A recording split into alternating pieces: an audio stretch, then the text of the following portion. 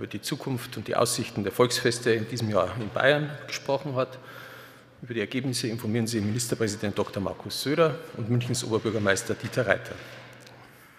Ja, meine sehr verehrten Damen und Herren, Herr Oberbürgermeister, wir hatten eine Schalte mit den ähm, Städten, äh, die die ganz großen Volksfeste in Bayern haben. Also München, Nürnberg, beispielsweise äh, Würzburg, Regensburg, auch Rosenheim mit dem Herbstfest und natürlich Straubing mit dem Gäubodenfest. Wir haben nochmal beraten, wie geht es angesichts der pandemischen Lage weiter und wir haben eigentlich eine, auf uns auf eine gemeinsame Empfehlung geeinigt. Die Entscheidung darüber ist natürlich aufgrund des Infektionsschutzgesetzes Sache der Kommune vor Ort. Aber wir waren, das kann man glaube ich sagen, einheitlich der Auffassung, dass wir empfehlen, diese großen Feste dieses Jahr nicht stattfinden zu lassen. Die Begründung ist dreifach. Das erste ist, ähm, es gibt ähm, einfach, die Lage ist zu unsicher aufgrund der hohen wirtschaftlichen Verpflichtungen, die eingegangen werden müssten, sodass bei einer Entwicklung der Inzidenzen, die dann vielleicht, keiner kann es vorhersehen, steigen würden, eine Absage ein wirtschaftlicher Schaden wäre. Zweitens muss man dazu sagen, könnten auch Marken beschädigt werden. All diese großen Feste, die, das Oktoberfest natürlich als, die, als das vielleicht globalste Fest überhaupt, die eine der größten, vielleicht die größte Visitenkarte, die Bayern überhaupt in der Welt abgibt, mit Millionen von Gästen, die jedes Jahr zu uns kommen, hätte die große Herausforderung, dass sie beschädigt wird, wenn wir es mit unter unzähligen Auflagen stattfinden müssen. Und das wäre auch der dritte Grund. Es wäre natürlich auch die Gefahr, dass es dann zu zum Teil chaotischen Zuständen führen kann, weil in den klassischen Bierzelten bei den großen Festen ist mit Abstand, Maske und all den Maßnahmen es zum Teil einfach praktisch nicht umsetzbar. Deswegen ist die Empfehlung ähm, dort an der Stelle auf die großen Feste dieses Jahr zu verzichten. Gleichzeitig haben wir aber von Seiten des Freistaats angeboten, bei kreativen Lösungen, dezentralen Lösungen, so wie letztes Jahr bereits im Sommer, da großzügig miteinander umzugehen, das anzubieten, Sommer in der Stadt, Einzelbereiche zu machen. Das, glaube ich, stieß auch überall auf Unterstützung, sodass wir das da gerne äh, unterstützen werden. Und äh, das, insofern war das heute eine relativ gute Aussage gemeinschaftlich. Es gibt ein sehr hohes Bewusstsein der Kommunalpolitiker ob der Gefahr Infektion. Gleichzeitig will man den Schaustellern aber Angebote machen. Allerdings kommt, glaube ich, aus der Branche heraus selber so die Sorge, dass so also halbgare Feste auch nicht funktionieren würden. Deswegen auch in diesem Jahr die Empfehlung, diese großen Feste nicht zu machen. Von der Wiesen angefangen bis über das Rosenheimer Herbstvolksfest. In ähm, Straubing hat man bereits entschieden, das Gäubodenfest nicht stattfinden zu lassen. Ähnliche Diskussionen gibt es über das Nürnberger Herbstvolksfest, äh, den Plärrer in Augsburg beispielsweise und anderswo aber dafür zu prüfen, inwieweit dezentrale, kleinere Möglichkeiten sind, um in den Städten dann bei einer guten Infektionslage Angebote zu machen. Vielen Dank aber nochmal für die Zusammenarbeit. Herr Oberbürgermeister, bitte. Ja, vielen Dank, sehr geehrter Herr Ministerpräsident, Damen und Herren. Ich hatte den Ministerpräsidenten letzte Woche gebeten, ähm, ob wir uns unterhalten können, ob wir nicht wieder eine einheitliche Lösung finden für das Thema große Volksfeste in Bayern weil ich der festen Überzeugung war und bin, dass es Sinn macht, auch um die Akzeptanz der Bevölkerung einigermaßen sicherzustellen, dass wir für die größeren Feste einfach einheitlich entscheiden. Herr Ministerpräsident hat schon gesagt, es gab vorher gerade eine einstündige Videoschalte mit den Bürgermeisterinnen und Bürgermeistern der Städte, die große Volksfeste abhalten. Und die Tendenz war eindeutig, dass wir als Kommunalpolitiker einfach diese Verantwortung für unsere Bevölkerung, für die Gesunderhaltung der Bevölkerung höher gewichten müssen als das berechtigte und auch nachvollziehbare Interesse der Bevölkerung an Volksfesten. Und deswegen wird es in München auch dieses Jahr kein Oktoberfest geben. Es ist zum 26. Mal, dass dieses Oktoberfest nicht stattfinden kann. Es ist eine Entscheidung, die ich jetzt treffen will und muss, weil mir natürlich auch die Beschicker mitteilen, dass sie jetzt Verträge eingehen müssten, Verpflichtungen eingehen müssten, Personal akquirieren müssten. Und deswegen macht es keinen Sinn, noch zuzuwarten. Die pandemische Entwicklung ist auch nicht so dynamisch, dass wir sicherstellen könnten, dass wir, wenn wir jetzt noch vier Wochen warten, dann eine stabile Entwicklung hätten. Wenn Sie sich die Inzidenzkurve der letzten Wochen und Monate anschauen, dann geht es tatsächlich rauf und runter und niemand von uns kann prognostizieren, wie es wirklich ausgeht. Deswegen muss man die Entscheidung aus meiner Sicht jetzt treffen. Und ich habe sie getroffen und ich bitte dafür um Verständnis. Für mich persönlich ist es auch keine leichte Entscheidung, weil es ist eigentlich ähm, schon ein, ein wesentliches Datum im Terminkalender des Oberbürgermeisters, das sowohl das Anzapfen als auch das Bier weitergeben an den Ministerpräsidenten, aber das ist nicht wirklich wichtig. Viel wichtiger ist, dass es sehr schade ist für die vielen, vielen Millionen Fans und Freunde der Wiesen, diese Brauchtumsveranstaltung weltweit, für die ist es extrem schade. Schade ist es natürlich auch, weil es teilweise existenzielle Auswirkungen auf Menschen hat, die dort arbeiten. Also ich spreche jetzt insbesondere von Bedienungen bis zu Standelfrauen, Standelbesitzern, von den Schaustellern bis hin zu den Wiesenwirten. Dort geht es schon richtig ans Eingemachte, was die äh, Einnahmeverluste betreffen. Das trifft die einen mehr, die anderen weniger, aber alle trifft es natürlich. Die Stadt München trifft es übrigens auch so. Mit 1,2 Milliarden Umsatz ist das Oktoberfest ja nicht ganz zu verachten als äh, Wirtschaftsfaktor. Auch das muss man verkraften. Aber insgesamt bitte ich einfach um Nachsicht für die Abwägung dass wir ein Volksfest nur dann feiern können, wenn zwei Dinge gewährleistet sind, nämlich erstens mal das Volk auch hingehen kann. Das heißt, es kann keine Zulassungsbeschränkungen in irgendeiner Form nach meinem Verständnis geben, sonst ist es kein Volksfest. Und zweitens muss es eine ausgelassene, eine sichere, eine angstfreie Atmosphäre geben.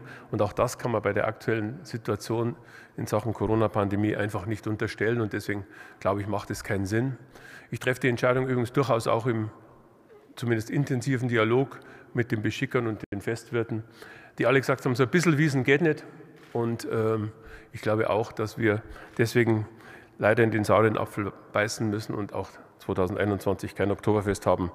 Der Herr Ministerpräsident hat schon angedeutet, wir haben uns natürlich Gedanken gemacht, was könnte man denn als Kompensation anbieten und freuen uns äh, über die äh, Zusage, will ich nicht sagen, weil er kann auch nichts zusagen, was wir noch nicht vorgelegt haben, aber zumindest über dieses grundsätzlich positive Feedback, dass wir wieder Dinge in München machen, wie wir sie schon kennen, zum Beispiel sowas wie Sommer in der Stadt, was gut funktioniert hat aus meiner Sicht, was auch infektiologisch durch die dezentrale Struktur und durch Hygienekonzepte abgesichert werden kann, was zumindest den Schaustellerinnen und Schaustellern so ein bisschen an Einnahmen ermöglicht, was aber auch natürlich mindestens genauso wichtig den Münchnerinnen und Münchnern die mittlerweile äh, doch intensive Bedürfnis, das mittlerweile intensive Bedürfnis, den Wunsch, mal auch wieder draußen ein bisschen zu feiern, ne, entgegenkommt. Ob es sowas wie die Wirtshauswiesen wieder geben kann, werden wir uns anschauen müssen. Infektiologisch ist die deutlich schwierigere Variante. Aber insgesamt muss, glaube ich, auch tatsächlich einer der Kompensationspunkte sein, dass wir hoffen müssen, dass wir infektiologisch so weit sind, dass wir zumindest Teile der Außengastronomie wieder öffnen können, mit natürlich Abstandsregeln, mit Maskenpflicht, mit dem Thema, wie wir sie letztes Jahr schon hatten, dass wir vor allem auch Kulturbetriebe, Theater, Kinos und sonstige Veranstaltungen vor Ort in kleinen Rahmen wieder durchführen können, damit die Münchnerinnen und Münchner, aber alle, alle Besucher halt eine kleine Kompensationsmöglichkeit haben für das nicht stattfindende Oktoberfest. Ich bedanke mich auch dieses Jahr, dass wir gemeinsame äh, Regelungen vorschlagen und getroffen haben. Ich glaube, das macht Sinn. Und wie gesagt, ich bitte nochmal um Nachsicht an alle Wiesenfans, dass es auch dieses Jahr nicht stattfinden kann. Vielen Dank. Wir kommen zu Ihren Fragen. Den Anfang macht Julian von Lewis vom Bayerischen Rundfunk. Herr Söder, neben den großen Volksfesten gibt es ja in Bayern auch sehr, sehr viele kleine, hunderte, wenn nicht sogar tausende. Gibt es denn von der Staatsregierung eine Vorschlagslösung, wie man damit umgehen soll? Wir hören ja, zweifach Geimpfte haben jetzt wieder mehr Grundrechte, das Impftempo nimmt zu. Haben Sie dann einen Vorschlag oder eher auch Zeichen auf Absage? Danke. Da gilt normalerweise das Infektionsschutzgesetz und es lässt gerade jetzt vor Sommer praktisch kaum eine Möglichkeit dafür zu. Das ist eindeutig das Gesetz. Ähm, es ist auch so, dass gerade wenn wir über die Sonderrechte bzw. die Rückgabe der Rechten für Geimpfte reden, das bei einem Volksfest schwer vorstellbar ist. Das war auch einer der Gründe, warum wir uns insgesamt auch ähm, mit der Empfehlung schweren Herzens, aber doch mit hoher Vernunft gemeinsam auf den Weg begeben haben, weil wir gesagt haben, wie will man das kontrollieren? Stellen Sie sich vor, dann vor einem Zelt stehen dann die einen, wir wollen rein, wie will das kontrolliert und dann kommt möglicherweise eben noch Alkohol dazu, was ja auch, sagen wir mal, die, die, äh, die Situation nicht vereinfacht. Ähm, da gilt jetzt das Infektionsschutzgesetz, deswegen wird jetzt bis zum Sommer da insgesamt, ähm, gibt es da keine ganz großen Entwicklungen. Wir haben es ja heute äh, schon mal besprochen, dass jetzt dort, wo 100 ist, wir mit Außengastronomie beginnen, langsam Stück für Stück, aber auch sehr zurückhaltend. Deswegen, jetzt ging es ja um die Entscheidung, beispielsweise beim Oktoberfest ähm, eine Abwägung vorzunehmen. Das ist genauso, wie der Oberbürgermeister sagt. Ähm, ich sage ja auch als Ministerpräsident, es ist die, eine der globalen Marken, die man mit Bayern verbindet. Das ist tatsächlich so. Jeder in der Welt kennt Oktoberfest. Viele versuchen es nachzumachen und es gelingt keinem. Ähm, aber man muss ja auch sehen, was passieren würde, wenn wir jetzt es bedenkenlos einfach machen, es absagen müssen, der wirtschaftliche Schaden, oder stellen Sie sich vor, es gibt eine neue Welle und es würde dann zu einem Superspreader-Event, dann wäre die Marke für alle Zeiten beschädigt und das wollen wir nicht. Das Oktoberfest wird wieder stattfinden und es wird wieder großartig werden, nur in diesem Jahr ebenso nicht. Uli Bachmeier, Augsburger Allgemeine. Einmal an den Herrn Söder. Ähm, ab wann wäre denn ein Volksfest überhaupt nach dem Infektionsschutzgesetz theoretisch möglich, wenn das jetzt unter 50 ist oder wie geht, ginge das dann? Und dann noch eine Frage an den Herrn Reiter. Ich bin ein bisschen durcheinander wegen den Meldungen im Zusammenhang mit Dubai und der Lizenz äh, etc. Es gibt äh, Tausende von Plagiaten weltweit vom Oktoberfest, die alle nach meinen Informationen ohne Lizenz sich als äh, Oktoberfest ausgeben. Was ist dann da jetzt speziell in Dubai der Hintergrund? Warum kommt die Stadt überhaupt ins Spiel und warum besteht man darauf, dass man eben keine Lizenz hergibt und das dann nicht stattfinden kann? Wenn Sie mir das erklären könnten, wäre sehr freundlich. Soll ich? Also meines Wissens nach ist der Begriff Oktoberfest immer noch nicht abschließend rechtlich geschützt, sodass er verwendet werden darf. Ähm, deswegen gibt es ja auch, wie Sie richtig gesagt haben, Hunderte, ich glaube Tausende von Plagiaten weltweit. Ich gestehe frank und frei, dass mich das wirklich nie wirklich äh, sonderlich beunruhigt hat, denn äh, wir sind selbstbewusst genug in München zu wissen, nur wir in München haben das Oktoberfest. Andere Feste können im Oktober stattfinden oder sonst irgendwie sich nennen. Sie werden niemals den Rang und die Beliebtheit des Oktoberfestes in München erreichen. Das liegt schon an der Gestaltung, das liegt übrigens auch an den Getränken, die es dort gibt. Äh, es ist eine Besonderheit, die es nur in München gibt und deswegen war ich da nicht wirklich ängstlich, dass es auch in, in unserer Partnerstadt Cincinnati gibt es auch ein Oktoberfest. Also es gibt Oktoberfeste Land auf Land ab. Dubai war ein bisschen was Besonderes, ähm, weil äh, wir uns da alle einig waren, dass es schon ein, ja, einigermaßen merkwürdig ist, äh, bei den Außentemperaturen und bei den Rahmenbedingungen, die es da in Dubai gibt, ein Oktoberfest abzuhalten. Ich habe ja auch keine Begeisterung der Wirte vernommen, dorthin zu fliegen und dann soll das Ganze ja auch Monate dauern. Das hat eigentlich nichts mit einem Fest zu tun. Und ein Volksfest, und damit höre ich auch wieder auf, um nicht mich arg weit aus dem Fenster zu lehnen, ein Volksfest, bei dem das Volk selber nicht zugelassen ist oder nur am Rande beteiligt, kann ich mir auch nur ganz schwer vorstellen. Das ist nicht meine Vorstellung von einem Brauchtumsvolksfest. Also ähm, nur nebenbei, ich kann mich erinnern, dass ich bei sehr frühen Auslandsreisen hat es auch schon immer so Oktoberfestabende gegeben. Ich habe mal einen in New York erlebt, da gab es dann Hähnchen mit Nudeln mit Soße. Das Feeling war begrenzt. Ich habe mal einen in Shanghai miterlebt, der dort gemacht wurde. Da, da, haben sie sozusagen Bayern mit Kakteen und Cowboyhüten ausgerüstet. Ich habe auch überlegt, äh, welcher Volksstamm da bei uns betroffen Das hat alles nicht so richtig funktioniert. Also ich meine, sind wir mal ehrlich, das Oktoberfest funktioniert ja auch in der Beeindruckungsform, die großen Zelte. Ja? Also das ist ja ein Teil des Erfolges. Die Lebensfreude, die dahinter steht, die Tracht, alles das. Also das kannst du jetzt in Dubai bei 40 Grad jetzt, ja, kannst sicher eine Mall machen und dann ein bisschen Skifahren dazu, aber ich glaube jetzt nicht, dass das so erfolgreich ist. Das tut jetzt nicht so, so weh. Das Zweite ist, äh, nach dem äh, Infektionsschutzgesetz, das gilt jetzt bis 30.06. Ja, ähm, erst einmal, ja, Herr Bachmeier, gibt es kaum Spielräume an der Stelle. Ähm, das sind einfach zu viele Leute, die Inzidenzen sind zu hoch. Deswegen wird da ohnehin fast nichts stattfinden. Wenn natürlich, wenn natürlich morgen die Inzidenz bei 0 liegt oder bei 1 oder 2, dann könnte sich anders sein, aber das ist in der jetzigen Situation einfach nicht zu erwarten. Bitte um Entschuldigung, Herr Reiter, Sie haben meine Frage nach der Lizenz nicht beantwortet. Warum ist da plötzlich eine Lizenz notwendig, die die Stadt dann verweigert? Das war zumindest die Meldungslage heute früh. Also es wäre mir neu, dass es tatsächlich eine formale Lizenz bräuchte. Natürlich hat sich die Politik in München dazu geäußert und auch die Beschicker haben sich geäußert, aber ich habe es ja vorher gesagt, Sie haben es ja auch gesagt, es gibt tausende von Plagiaten, die haben auch keine Lizenz. Also insoweit äh, wüsste ich auch nicht, wie man rechtlich eine Lizenz begründen soll, wenn der Begriff nicht gesetzlich geschützt ist. Also insoweit glaube ich, wird es keine Lizenz bedürfen. Aber wie gesagt, es braucht Akzeptanz und es braucht Teilnahme. Ich glaube, sonst wird es schwierig abzuhalten zu sein. Als nächstes Hans Hinterberger von BR Kontrovers. Herr, Herr Ministerpräsident, inwiefern ist das Ganze mit dem Koalitionspartner in Bayern abgestimmt? Und äh, auf den Herbst blickend, kleine Feste, da dürfte sich ja wieder äh, auch beim Koalitionspartner ein gewisses kreatives Potenzial ergeben. Wie blicken Sie auf diese Diskussionen? Jetzt wird mir klar, Sie fragen heute immer das Gleiche. Das heißt, Sie machen einen Beitrag über den Zustand der Koalition. Und jetzt sage ich Ihnen das gleich wie vor. Wir haben eine beste harmonische Zusammenarbeit. Äh, heute ist es so, dass natürlich das hier die Kommunen selber entscheiden. Die Kommunen äh, müssen hier entscheiden, ob sie einladen jetzt dazu. Und das Infektionsschutzgesetz Notbremse gilt ja alles auch. Insofern ist das alles, glaube ich, ganz klar, wie das stattfinden kann. Und ähm, wie gesagt, die Zusammenarbeit in Bayern ist bestens auf höchstem Niveau und das können Sie auch gern verwenden in dem wichtigen Beitrag morgen dann und es wird immer besser, täglich. Wird nur besser. Wir haben noch drei Fragen, dann kommen wir zum Schluss. Als nächstes Stefan Mack, Antenne Bayern.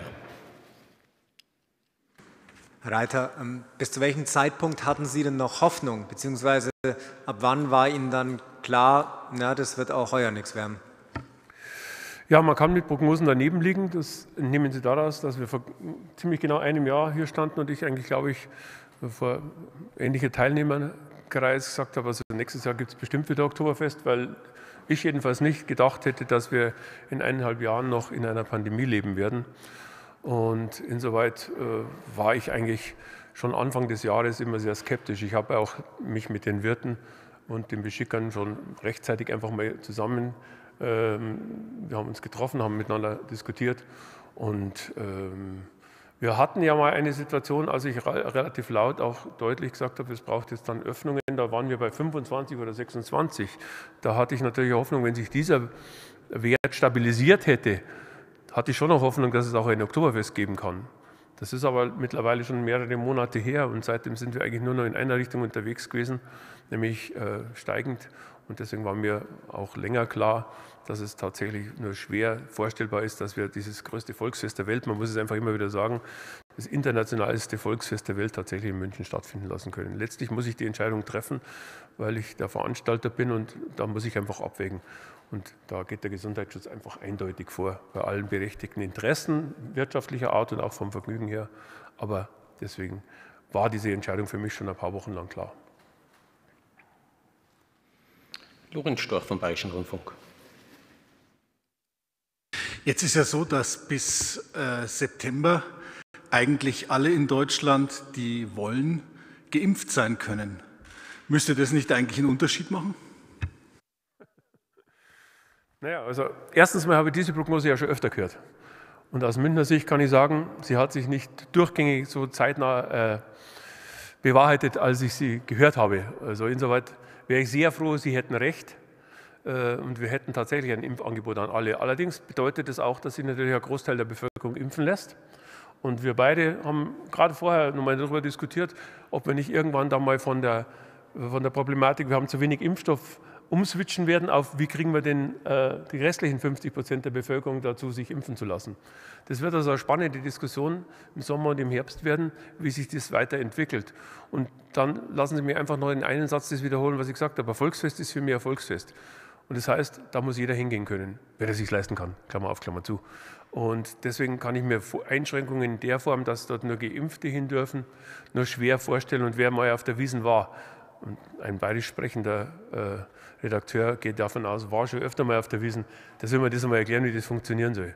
An den Zelteingängen und draußen. Äh, also für mich einfach nicht nachvollziehbar und da spreche ich ja nicht nur als Oberbürgermeister, sondern auch als langjähriger Wiesenbesucher und auch im besten Kontext mit den Wirten, die das noch länger machen als ich. Das ist einfach nicht vorstellbar und deswegen wird es hoffentlich so sein, wie Sie sagen, aber das wird die Oktoberfestabhaltung, also das Oktoberfest nicht retten können.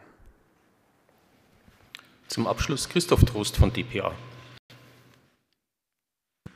Frage an beide, Herr Reiter, haben Sie schon angesprochen, äh, Prognosen sind schwierig, äh, vor allem wenn sie in die Zukunft gerichtet sind. Ähm, trotzdem die Frage, auch weil Sie gesagt haben, also wieder nächstes Jahr möglicherweise wieder, ähm, wenn es diese Wiesen, was wir hoffen und wovon man vielleicht auch ausgehen kann, wieder geben wird, ähm, gehen Sie denn davon aus, dass es eine Wiesen ist, wie man sie kannte bis äh, zum vorvergangenen Jahr?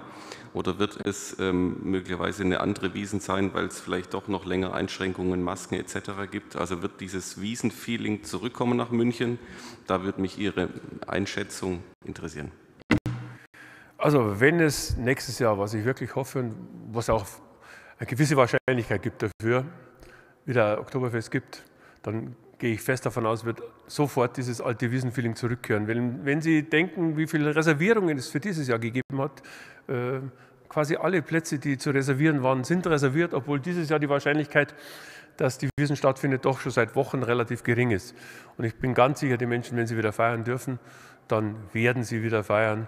Und ich hoffe, dass es nicht so ausgeht wie in anderen Ländern, wo man dann sieht, wenn das erste Mal wieder ein Clubabend auf ist, wie ja dann äh, ins Gegenteil wieder äh, quasi das Ganze verkehrt. Also es muss ja dann nicht so sein, dass wir dann 10 Millionen Besucher sehen, aber ich bin fest davon überzeugt, das Wiesenfeeling wird zurückkehren, sobald wir wieder ja, feiern dürfen und auch ein gutes Gefühl dabei haben, weil wir eben wissen, dass die aller, allermeisten geimpft sind und ähm, das sich Thema Pandemie auch weltweit einigermaßen besser entwickelt hat, als wir es jetzt prognostizieren können.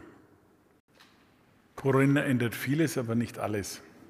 Unser Ziel ist ja, unser altes Leben ein Stück zurückzubekommen. Und deswegen glaube ich, es gibt heute überhaupt keine Sicherheit, kann heute keiner sicher sagen, so oder so wird es. Keiner weiß, wie sich Mutationen entwickeln und ähnliches mehr. Es wäre auch irgendwie unseriös. Ich kenne Politiker, die dann voller Euphorie sagen, ich verspreche und garantiere und dann die Fahne wieder einrollen müssen. Das hat ja keinen Sinn. Wir versuchen das immer zu machen, was sinnvoll und möglich ist. Und ähm, glaube, der Kurs ist auch der seriöse und er hat auch die breiteste Unterstützung. Allerdings denke ich, dass im nächsten Jahr die Wahrscheinlichkeit schon relativ hoch ist, weil die Impfung dann fortgeschritten ist. Wir sind dann im zweiten Jahr der Impfung, wir müssen uns ja weiter impfen müssen. Ich glaube, dass manche Sachen bleiben. Ich bin zum Beispiel sicher, dass die Maske uns in irgendeiner Form bleiben wird, wenn dann nicht als Verpflichtung, so als Angebot von vielen. In Asien, wissen Sie, ist es so, dass die Maske ohne Verpflichtung seit einigen Jahren, seit damals Vogelgrippe, fester Bestandteil von Schutz ist. Nicht in der Konsequenz und Stringenz, wie wir sie heute haben, aber vielleicht. Also manches bleibt, vieles wird wieder neu erfunden und was das Wichtigste ist, die Wiesen ist letztlich ein ganz großes Fest der Lebensfreude. Und diese Lebensfreude kommt ganz bestimmt zurück. Ich glaube sogar, die Menschen hungern ja, es dürstet sie danach. Gerade auch den vielen jungen Menschen. Das kommt ganz sicher wieder. Und vielleicht gibt es dann nächstes Jahr auch einen niedrigeren Bierpreis, wer weiß. auch denkbar theoretisch, ja. Ist genauso eine Frage. Nein, Herr Bachmeier sagt nein, nach seiner langjährigen Erfahrung keine Chance. Ja, wir werden sehen. Ich sage mal, es gibt Dinge, die sind wahrscheinlich, andere kaum wahrscheinlich. Also, dass die Wiesen stattfindet, ist wahrscheinlicher, als dass der Bierpreis sinkt. Also insofern werden wir mit diesem Management an Wahrscheinlichkeiten versuchen, das Beste gemeinschaftlich zu schaffen. Gut, mit diesem optimistischen Ausblick schließen wir die Pressekonferenz. Danke.